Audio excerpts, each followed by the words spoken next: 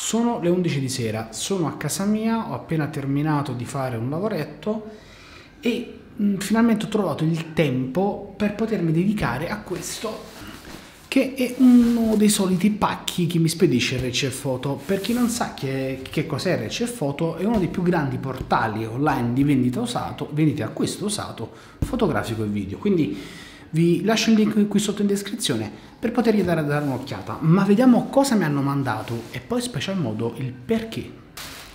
Mi hanno mandato la Polo di RC Photo una XT30 che ho già provato, ma c'è un motivo per cui me l'hanno rimandata, ed una XT3. Quindi ho, un, ho insieme le due sorelline, la sorella maggiore e la sorella minore. E tra le altre cose, io ancora non ve ne ho parlato, ma io la XT3 l'ho avuta per quasi tre settimane perché l'avevo acquistata. Poi, preso dall'utilizzo di un'altra tipologia di camere, ho fatto un altro cambio.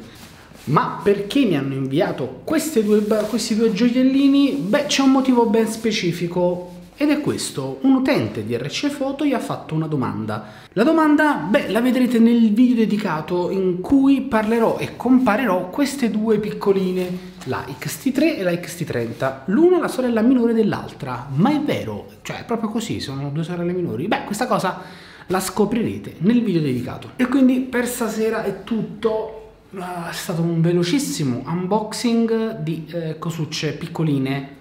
Oddio, tanto piccole non sono. Sono più felice per la Polo della, di RC Photo che per le due bambine. Perché per le due bambine, non è vero, sono felicissimo per le due bambine perché è sempre bello avere dei giocattoli con cui giocare e ce ne sono ancora tanti altri in arrivo. Quindi eh, questo è proprio uno di quei vlog dove si fanno solo unboxing e si parla, si parla solo di cose nuove che arrivano. Andiamo al prossimo unboxing. Sono passate 24 ore e uh, come potete sentire dal casino in questa stanza ho dovuto montare un condizionatore portatile. Questo perché ragazzi fa davvero tanto caldo. Io riesco a far video solo di sera. Devo farvi vedere un mio ultimo acquisto, o meglio più che acquisto un ritorno di fiamma perché quando, venduto, quando ho venduto la giacca 5 eh, avevo dato via tutte le ottiche che avevo lenti che a mano a mano ho riacquistato tutte quante e la fortuna vuole che dove avevo dato in permuta le lenti ossia la fotoema erano tutte quante disponibili ancora alla vendita eh, come usato e quindi sono andato a riprendermi il 714 di Panasonic. Eh, 714 che è un grandangolo fantastico. L'unico problema è che è F4 per, ehm, per micro 4 terzi ma la cosa bella è che è un ottimo grandangolo perché è un, una focale che ha massima apertura del 14 mm su full frame naturalmente ed è leggerissimo quindi è ottimo per vlogging. Io adesso sto utilizzando il 1240 della Olympus che sì è F28 ma è pesantuccio. Ed è piuttosto stretto perché mi sento costretto in questa focale. Ma non è assolutamente male anche questa anzi è una lente davvero fantastica. Uh, ritorno in questa stanza dove qui c'è il nuovo setup con cui giro il parlato dei video che purtroppo non è comunque bello pulito come uh, speravo non è esente da rimbombi perché questa stanza purtroppo ancora rimbomba io speravo che parlando in questa nicchia, in questa nicchia dove praticamente io posso attenuare tutte le parole che dico, non andare, cioè, cioè rimanessero qui le mie onde vocali, invece basta che sto leggermente più fuori e tutto comincia a ballare avanti e avanti e dietro. Ma ora sono qui, sono le 10 di sera, come già detto nella clip precedente, eh, sono di nuovo di sera il giorno successivo per registrare dei video che dovranno uscire sul canale. Questi video naturalmente parlano delle Fujifilm che sono qui sopra qui, abbiamo una XT3 e una XT30, ora le spacchetto e ci faccio qualche clip, ci faccio qualche clip per i video da realizzare. E anche stasera è fatta, ho fatto le riprese qui sul tavolo, ah scusate ho cambiato obiettivo Ecco perché il 14 mm, il 714, per riuscire a stare più all'interno dell'inquadratura e fare un bel faccione grosso. Allora, sono riuscito a terminare le riprese che dovevo fare qui uh, nella stanza dei rumori con uh, il condizionatore acceso, ho ripreso le bellissime la bellissima XT3 e la fantastica XT30, le due sorelline, chi più grande chi più piccolina. Non voglio dilungarmi oltre perché anche per oggi è andata, eh, penso che ci vediamo domani.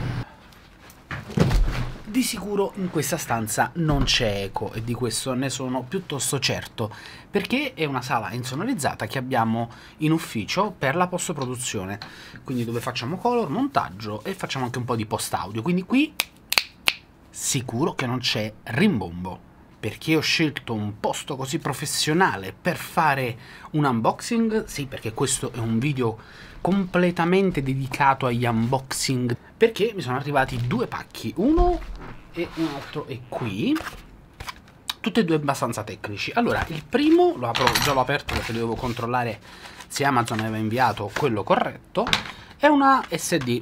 Mm, direte, bah, che c'è di strano? Beh, è una SD da 300, da 300 megabits in lettura. Ciò significa che scrivi anche molto velocemente. Un HS2 costa un botto di soldi eh, ed è indicata per macchine che registrano in 4K, eh, in ProRes in camera. E quindi che cosa ne devo fare se io utilizzo una GH5? Beh, perché è arrivato questo che apriamo velocemente insieme. Di sicuro l'avrò messo nel titolo, ragazzi. Ho preso una Blackmagic Cinema Camera Pocket 4K.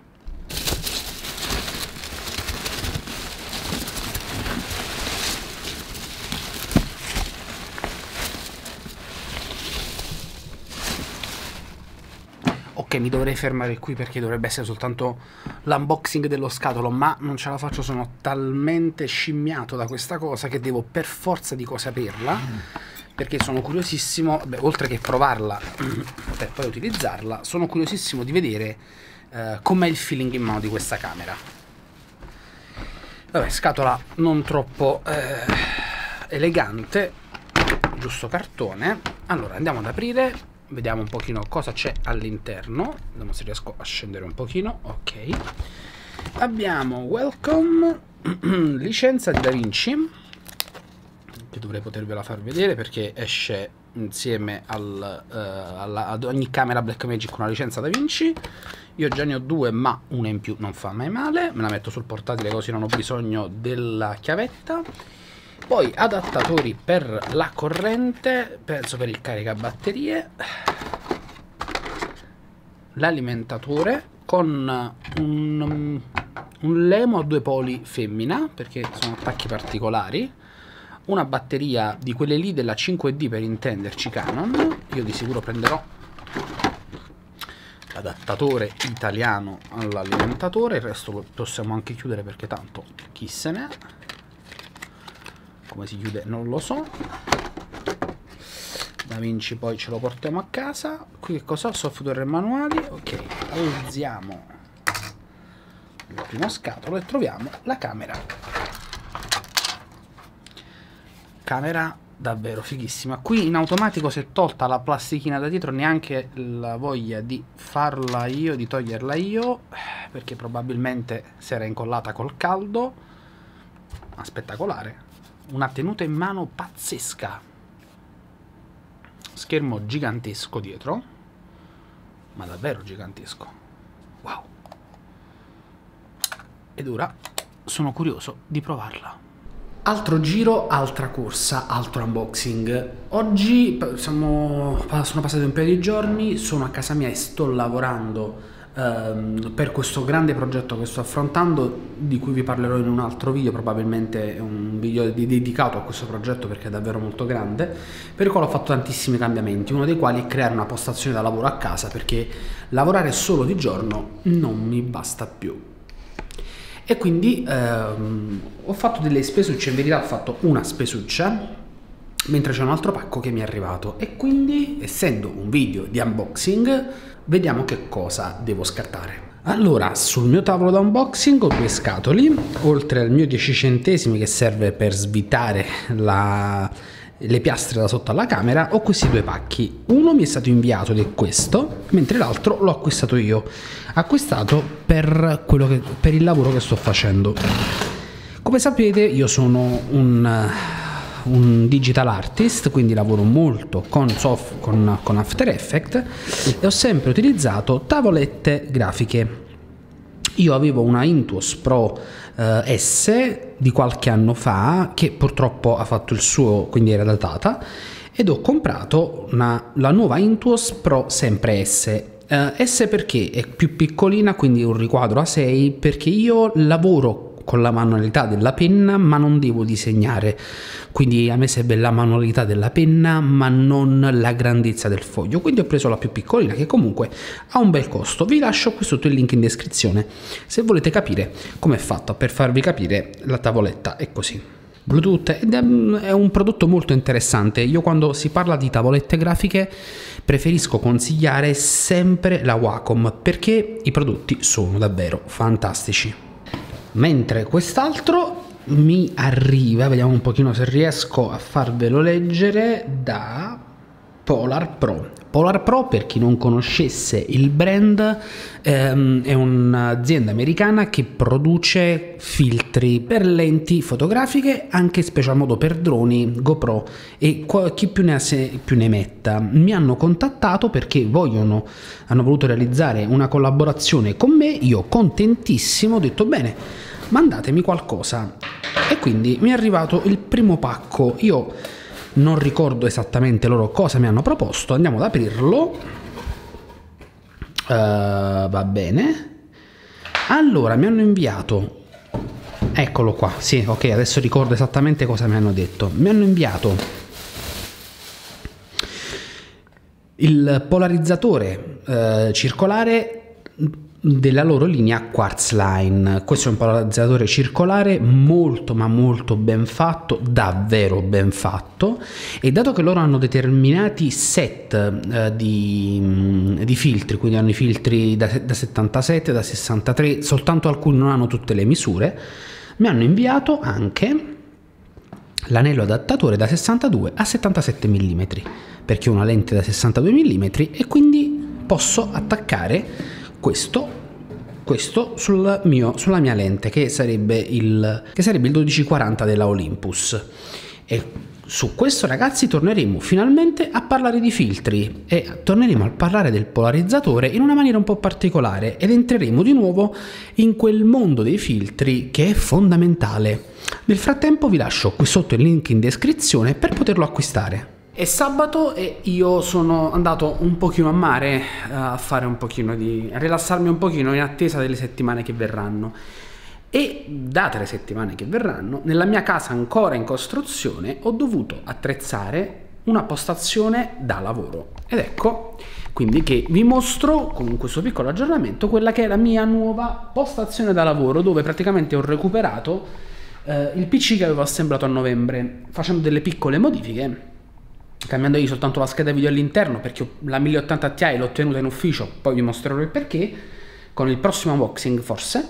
Um, ho assemblato qui la mia postazione da lavoro in casa e ne sono davvero davvero contento.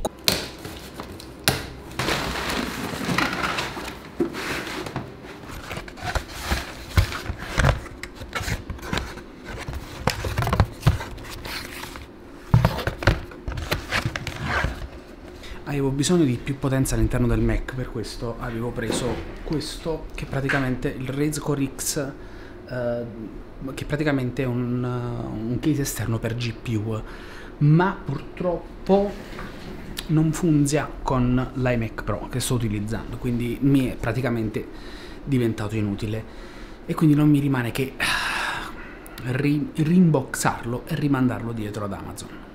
Mi dispiace davvero tanto perché pensavo fosse una soluzione adeguata alla mancanza di schede Nvidia per i Mac, ehm, ma a quanto pare funziona soltanto con i MacBook Pro. E io che ho un iMac non lo posso fare. Giuro che questo è l'ultimo. Sono arrivato ad agosto, in pratica dovevo chiudere questo video a luglio, ma mi sono spostato fino ad agosto per colpa del lavoro e non sono riuscito a terminarlo e quindi mi ritrovo di nuovo in una sera calda di agosto a fare un altro unboxing, questa volta di una cosa che non mi è arrivata per posta, ma che ho ritirato io dagli amici di Fotoema eh, qui a Napoli. Andiamo subito a vedere che cos'è. Vabbè dai ragazzi ve la spoilerò. Ho preso la nuova RX 100 Mark VII di casa Sony, la compatta delle compatte eh, che praticamente la uh, a parte il fatto che è arrivata oggi e l'ho ritirata oggi quindi sono stato uno dei primi ad avere, a riuscire a metterci le mani sopra.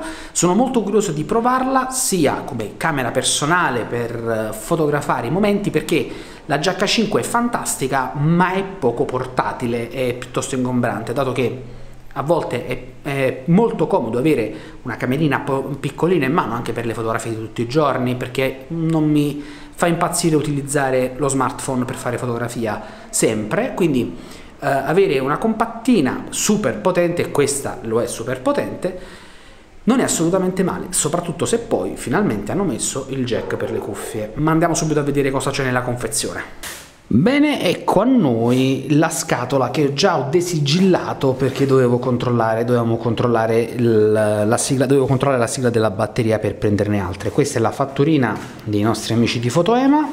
Questi sono le varie cavetterie, eh, documenti, i vari documenti che troviamo all'interno. E poi, signori, c'è lei, regina delle regine. Ah, vorrei dire sempre verde Sony RX100 che ha sostanzialmente sempre lo stesso identico design. Del modello precedente parliamo quello del, della RX 100 Mark VI un mirino, un viewfinder davvero fenomenale. Un flash integrato che si apre qui sopra dall'alto. E la cosa, le due cose fantastiche sono uno l'ottica che è 24-200 mm e l'altra ragazzi è questa il jack per le cuffie. Eh sì, questa camera è fantastica proprio perché finalmente hanno pensato anche agli youtuber, sapendo che questa è una delle camere più utilizzate dai youtuber per fare vlogging, per fare shoot on run, quindi riprese in corsa ragazzi ed è una camera davvero fantastica in confezione non troviamo altro che un cavetto usb per la ricarica in camera Cosa strana che ho notato è ancora USB, micro USB, non hanno ancora implementato un USB di tipo C multifunzione, cosa molto strana. Uh, un alimentatore da parete di casa Sony da 1.5 A, non male, anche perché le batterie sono piccoline. Troviamo un laccettino che andrò a mettere prontamente accanto alla camera. Infine qui sotto qui troviamo batteria e troviamo Ah, troviamo i legacci per poter da mettere in queste, nei, nei suoi punti per poi attaccare una tracollina. Beh amici, con questo giuro che abbiamo terminato gli unboxing di questi due mesi in pratica perché, perché il tutto si è protratto fino ad agosto, quindi ora me ne vado un pochino in ferie e cerco di rilassarmi anche se ho i progetti che davvero mi stanno massacrando. Quindi cos'altro dirvi? Se avete delle domande potete scrivermele qui sotto nei commenti, non dimenticatevi di iscrivervi al canale se ancora non l'avete fatto per seguire tutti gli altri video, non dimenticatevi anche di, di seguirmi su tutti gli altri social. Beh, cos'altro dirvi? Ci vediamo prossimamente con un nuovo video. Uh, prima di chiudere questo video voglio fare un ultimo unboxing eh, un po' particolare essendo sabato un sabato di agosto io ho ordinato delle cose ieri su Amazon e in pratica eh, parte che mi sono completamente sottoesposto, va bene, non fa niente, ehm, dato che la portineria dell'ufficio è chiusa, ho deciso di farlo consegnare ad un Amazon Locker, cioè uno di quegli armadietti di Amazon, che è praticamente un centro commerciale aperto 24 ore su 24. Quindi ora vado lì, per la prima volta provo anche a prendere un pacco, anzi due, dall'Amazon Locker e poi facciamo un veloce unboxing in auto. Ok.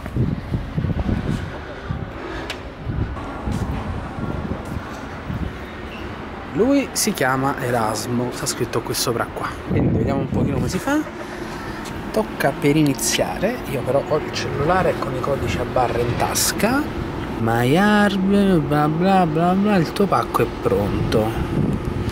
Allora 300 512 sono disponibili due pacchi. Apri alloggiamento 1 e alloggiamento 2 oh. oh mio dio effettivamente ha funzionato c'era Erasmo che mi ha dato i miei due pacchi divertente il fatto di dare ad un, uh, ad un uh, A-Locker un nome. Beh, facciamo un veloce unboxing così chiudiamo definitivamente questo video. Avendo preso una RX 100 Mark 7 mi sono prodigato, accendo l'auto un po' d'aria condizionata perché fa molto caldo, uh, ho acquistato, se riesco a tirarlo fuori, allora prima di tutto carica batterie patona che non può mai mancare, perché è comodissimo USB piccolino e un paio di batterie extra anche se ho due batterie originali ma un paio di batterie extra non fanno mai male perché purtroppo queste piccole macchine consumano davvero tantissimo. Il primo è andato mentre il secondo è la cosa di cui sono più curioso è questo. Un mini microfono TRS un ottavo che può andare in questa macchina ed è piccolino piccolino, non ha bisogno di slitshot show, di cose in particolare, quindi sono molto curioso di provarlo e anzi, dato che sono un tipo troppo curioso, lo apro perché tanto è minuscolo, prendo, ah, porta dentro sia il microfono che praticamente un microfono con un jack che si può piegare di 90 gradi e porta anche la eh, suo antivento che vado prontamente a mettergli sopra. Tutto questo naturalmente lo trovate in descrizione vi lascio il link perché se è funzionale all'utilizzo è davvero molto interessante. Messo l'antivento adesso faccio lo switch e cambiamo microfono Microfono cambiato, ho fatto forse un po' di casino, sono curiosissimo di sapere come si sente questo microfono, se si sente meglio o si sente peggio. Per ora sto registrando soltanto questa clip, poi potete giudicare stesso voi, o probabilmente ne parleremo più avanti quando faremo il video dedicato a questa macchina.